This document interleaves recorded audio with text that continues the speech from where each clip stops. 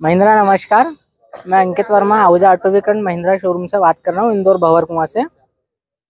आइए सर, मैं अपना एक मॉडल के बारे में बताता हूँ आपको। जैसे कि ट्रियो ऑटो के नाम से जाना जाता है ये। उसके बाद में स्पीड की बात करूँ सर मैं तो इसमें स्पीड आती है पचास से पचपन की। इसमें सेटिंग की बात करूँ मैं तो सर कंपनी पासिंग है, तीन सेटिंग दे रखी है इसमें। ठीक है डी प्लस थ्री में दे रखा है ड्राइवर प्लस थ्री के अंदर। उसके बाद में इसकी बैटरी की बात करूँ मैं सर तो बैटरी है इसकी एक चार्ज पे चल 130 किलोमीटर चलती है। साढ़े तीन घंटा बैटरी चार्जिंग टाइम लेती है ये। उसके बाद में इसमें हाइड्रोलिक ब्रेकिंग सिस्टम दे रखा है, इसमें तीन मोड दे रखे एक फ्रंट के लिए दे रखा है, एक रिवर्स के लिए, और बीच में न्यूट्रल के लिए दे रखा है इसमें। और इसमें अपना बूस्टिंग मोड भी दे रखा है इकोनॉमिक मोड भी दे रखा है इसके अंदर। उसके बाद में मैं बात करूँ सेटिंग की तो इसमें काफ़ी अच्छी तरीके से तीन जने बैठ सकते हैं इसके अंदर। कंपनी पासिंग तीन ही देती है इसके अंदर। और मॉडल महिंद्रा का सबसे टॉप वेरिएंट है सर ये। महिंद्रा के अंदर सबसे टॉप वेरिएंट है। कीमत की बात करूँ सर तो कीमत है इसकी तीन लाख तीस हज़ार की कीमत है इसकी। और इसके बाद में इससे एक छोटा मॉडल भी आता है। उसकी बात करूँ मैं, अपना जो महिंद्रा के अंदर जाना जाता है ई अल्फ़ा मिनी के नाम से। ई अल्फ़ा मिनी के नाम से जाना जाता है। इसमें डी इसको, इसमें दे रखा है D plus three D plus four में दे रखा है इसमें।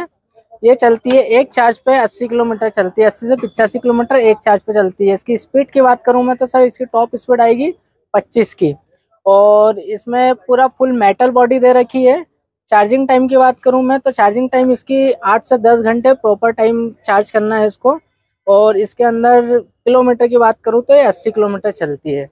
और इसमें सीटिंग की बात करूँ तो डी प्लस थ्री फोर दे रखा है इसमें। आ, दो सवारी इधर बैठ सकती है दो सवारी इधर बैठ सकती है। और कीमत की बात करूँ सर मैं तो कीमत है इसकी एक लाख पचासी हज़ार की कीमत है इसकी। ऑन रोड उसके बाद में इसी में सर इसमें एक छोटा वेरिएंट और आता है जो कि लोडिंग के लिए मतलब एफएमसीजी वगैरह यूज़ करते हैं एफएमसीजी में यूज़ किया जा सकता है इसको। ये अल्फ़ा कार्गो के नाम से।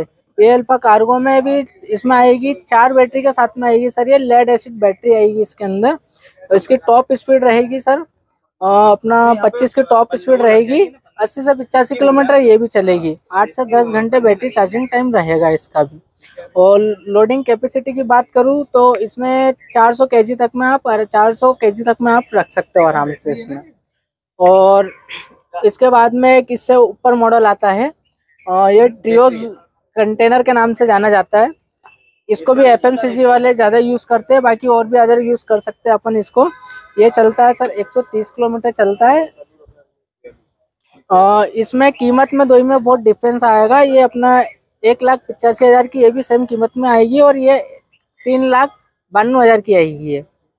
कंटेनर के साथ में। इसमें जो कि एक मॉडल आता है हाफ़ बॉडी में आता है, जो कि हाफ़ बॉडी में आता है, वो पड़ेगा तीन लाख बासठ हज़ार का। और इसमें सिटिंग में एक ही सिंगल सिटिंग आएगी इसकी। इसकी टॉप स्पीड आएगी पचास से पचपन की टॉप स्पीड आएगी प्लस उसके बाद में 110 130 किलोमीटर की रेंज रहेगी इसकी। साढ़े तीन घंटा बैटरी चार्जिंग टाइम रहेगा इसका। पेलोडिंग की बात करूँ मैं तो पेलोडिंग में इसमें दे रखा है 600 केजी तक में आप उसमें पेलोडिंग कर सकते हो।